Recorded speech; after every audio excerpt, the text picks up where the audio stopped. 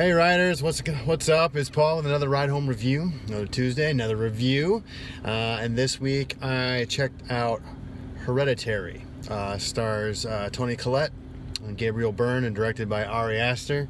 Before I continue, don't forget to subscribe to Ride Home Review so you don't miss a review each week on YouTube. Like us on Facebook. Catch out uh, some of the things I'm looking at in the film world on Facebook and follow on Instagram as I post there. Not as often as I would like. I'm trying to get back onto that, so uh, so pay attention to what I'm going to be doing on Instagram. So anyway.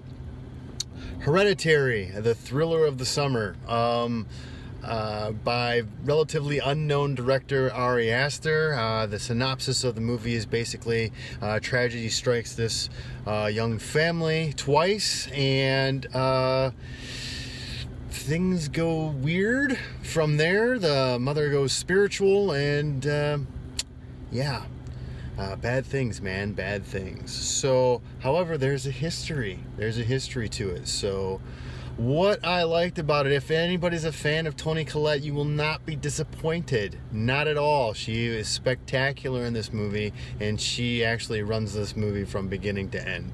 Um, so, it was great to see her on screen doing doing this. Also, Gabriel Byrne, who's a who's a main who's a, a classic actor but uh, for the most part, uh, Toni Collette was was really great. In fact, the focus was really on her, and uh, and uh, so other things I liked about it. Technically, this was a really well done film. Cinema, cinematography was great. Um, editing was really good. Uh, the music and the sound was good.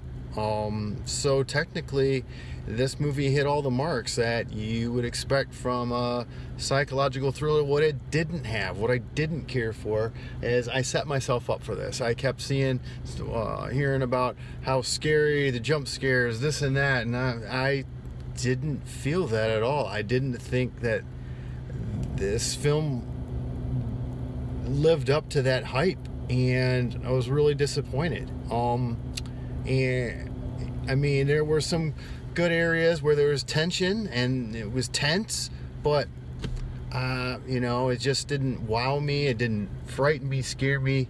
Uh, and not saying that I'm easily scared, but there's there's moments where you can do that. You can make anybody jump. And I just felt that this film was filled with cliches. Um, it just was I don't know. It just it just didn't hit me. I mean, there were some shocking moments, some things you didn't expect. I'll give them that but for the most part i was really i was really not into how they developed the story. It was really it was it was difficult. It was a piecemeal backstory. Um, there just wasn't enough development into making it really f- frighten you with the big reveals. And so i was just yeah. I mean i was really disappointed in in that regard. So but you know that's me you know you might have a different feel for it. I do you need to see it in the movie theater? Absolutely not. You know um, you can wait for this uh, on streaming or dvd whatever however you like to watch things. What to watch for though then i thought this was cool and this goes back to the technical aspect of how the film was crafted and put together was the dollhouse motif. I really liked how they played on that and how they structured things um, if you pay attention to how the composition of the cameras are, uh, or the camera is, and, and how how things are framed. Um, you'll see what I mean. It's a really cool, nice touch.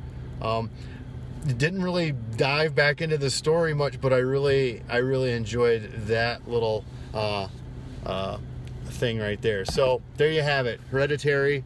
Did I like it? I did not. Um, so you don't have to go to the theater to see it. But until next time, subscribe on YouTube like on Facebook, follow on Instagram, and until next week, catch something cool. All right, see you next week.